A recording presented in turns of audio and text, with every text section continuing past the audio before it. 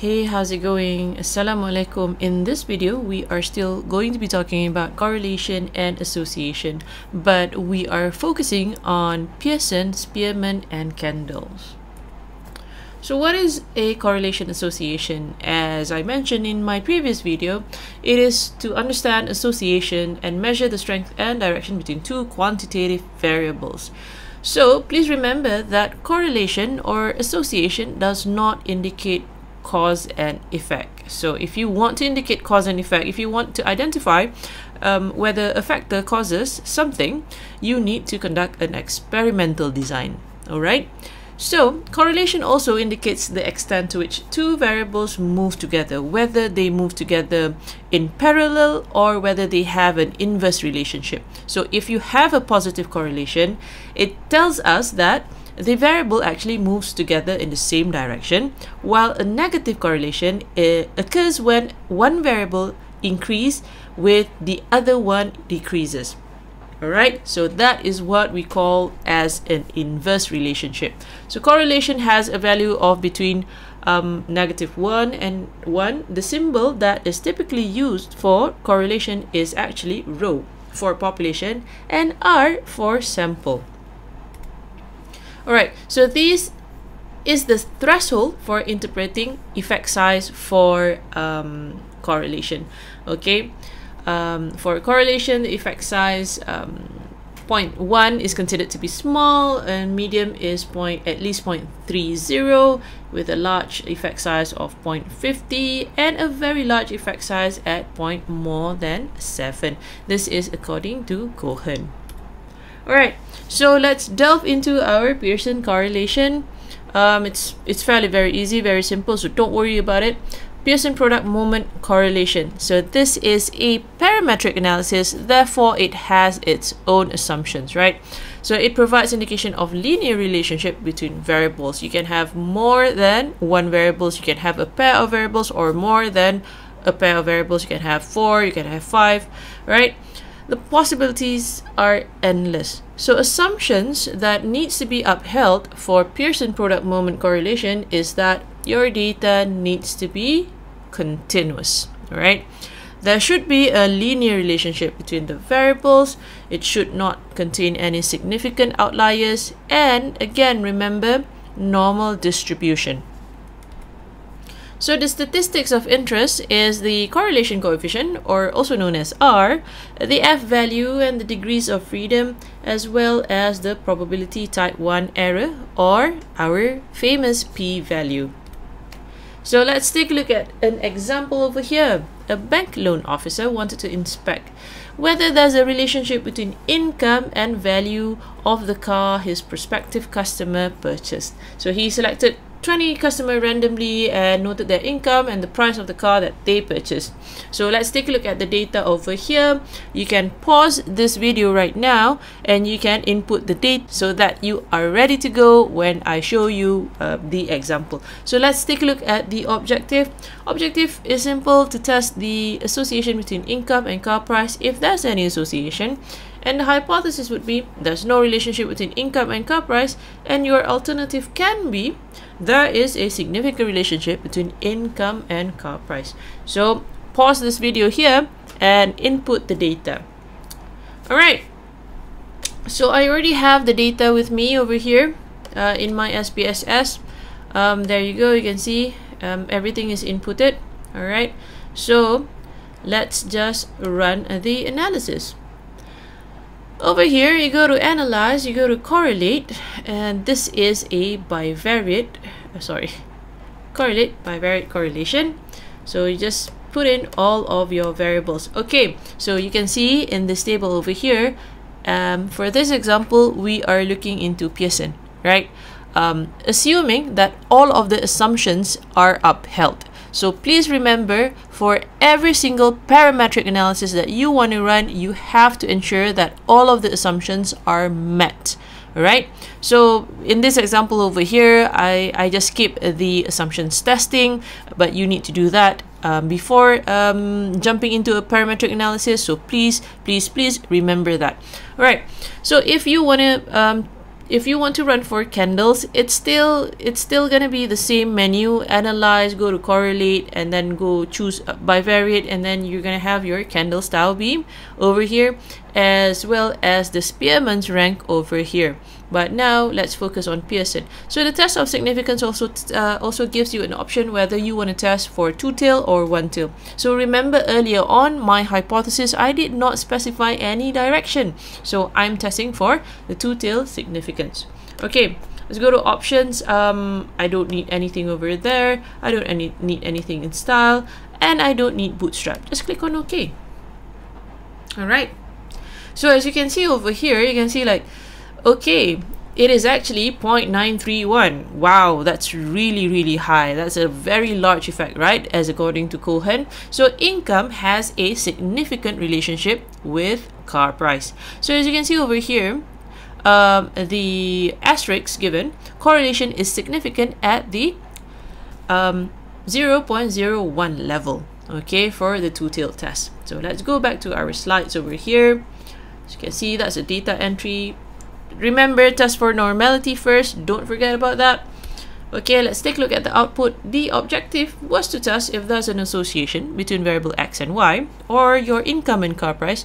The r value is actually 0.932 according to cohen correlation coefficient value of more than 0.7 indicates a very large correlation. If it's like too large you would often wonder whether it is actually the same variable right so thus, there is an association between the two variables. The p-value of the test is less than 0.001. Therefore, we fail to accept the null hypothesis, right? So this is how you report it. A Pearson correlation test was conducted to assess the relationship between income and car price. There was a significant correlation between income and car price expectations with an R value of 0.932 at the p-value of less than 0.001. Or you can also write less than 0.05. A scatter plot summarizes the results. Oh, scatter plot. So we need to conduct a scatter plot. Right, so what is a scatter plot? Remember in your descriptive statistics, you have already run a scatter plot, so let's just recap. So it is an initial tool to visually observe the relationship between two quantitative variables. It indicates strength and direction, okay? So a widely scattered points indicates low correlation, while a less scattered points, where if the points are um, close to one another, that indicates a very high correlation, right? So as you can see on the slides over here, so this indicates a positive linear correlation, it goes upwards. If it goes downward, it indicates a negative linear association. You can see that this in a shape of a U is actually a non-linear association. It is not straight. There's no straight line, right? And this indicates that there is no associations. So scatter plot example let's run let's let's try to um, come up with a scatter plot okay? Go to graph.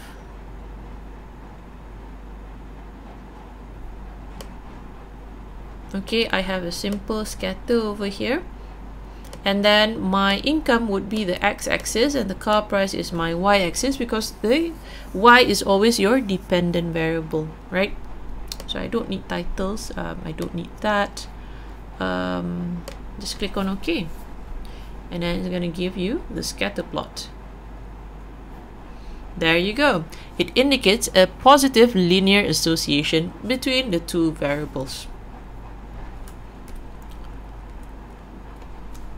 from the scatter plot this is another options you can get the scatter plot both ways. It is um, on your slides in your notes. Um, I use the graph scatter method. You can also use the graph regression variable method any way you please. Right? So from the scatter plot it can be seen that generally the higher the income the higher the value of the car customer purchased Okay, visibly there are no major outliers. I cannot see any major outliers. Therefore, there is a positive relationship between income and car price. So you may want to pause the video here and try this exercise out. Okay, so assume that a researcher wanted, there's double wanted there, really wanted, wanted to test the relationship between performance expectancy, social influence, and customer satisfaction. Wow, this sounds familiar to your research, right? 133 data were collected from adults who have used at least one food delivery app delivery app in the past six months. Okay, so they used uh, use the food delivery file given and run a correlation analysis to identify the association between PE, performance expectancy, social influence, and customer satisfaction. What are the research objectives? Write down the null and alternative hypothesis. Write up the results according to the APA format. The file name food delivery mock data can be found in our week 10 folder. Have fun! So are you done with your exercise? Uh, that wasn't so bad, isn't it? Here's a hint. Um, remember descriptive statistics, you need to do something with the variable. They are in the form of measurements, right? So you need to do something with the variable so that you can get an average scores of all of those measurement items, right? So that's a hint and I'm gonna upload the solution for the exercise in, um, in a separate video. Alright, so let's talk about the Spearman's rank and the Kendall's tau. So just now we have used uh, the Pearson product moment correlation analysis. Um, if your data is not normal, um, unfortunately, a lot of data out there are typically uh, not normal. You can use Spearman's rank, also uh, Kendall's tau. Alright, so the Spearman's rho and Kendall's tau beta is a non-parametric analysis. It again, it provides indication of relationship between variables. Both variables must be ordinal or numeric or non-normally distributed. Okay, for Spearman's rank, usually it is um, it provides a larger values than Kendall's tau and calculation is typically based on deviations and they are more sensitive to errors and discrepancies in the data and this is more widely used. Yes typically typically for non-parametric analysis we often resort to spearman. Okay as for Kendall's it has a smaller value than spearman. Calculation is based on concordant and discordant pairs they are insensitive to errors and the p-value is more accurate with a smaller sample. So what is concordant and discordant? Okay, so for concordant, both members of one observations are larger than their respective member of other observations. As for discordant, if two numbers in one observations differ in the opposite direction.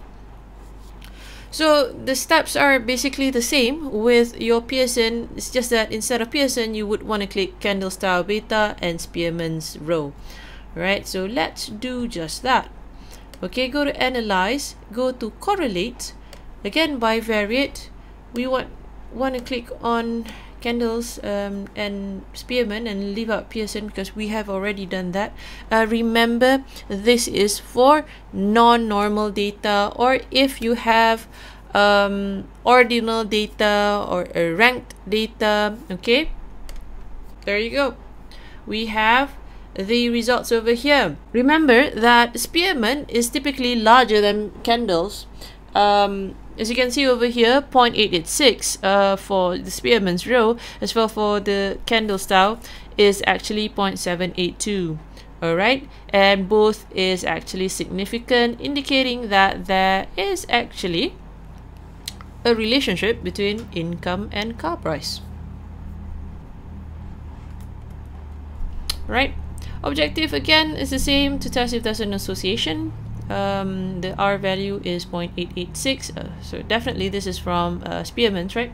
Uh, according to Cohen correlation coefficient value of um, more than 0.7 indicates a very large correlation. Thus there is an association between the two variables. The p-value of the test is actually less than 0.001 how do I know? Correlation is significant at the rate of 0.001 so we fail to accept the null hypothesis reporting a Kendall's tau it depends where which whichever um, analysis that you choose okay um, a Kendall's tau or Spearman's rho test was conducted to assess the relationship between income and car price. There was a significant correlation between income and car price expectations, where the R, um, or the correlation coefficient, equals to 0.886, uh, with a p-value of point less than 0.001. So where do I get this 0.782? This is for from Kendall's tau. So you can report if you use Spearman, definitely you would want to report Spearman. If you use Kendall's tau, you would want to report Kendall's tau. A scatter plot summarizes the results as per figure 1. Okay, this is an example assuming that the data is not normal. And we are done with correlation and association. I shall see you in our next video answering the exercise for correlation.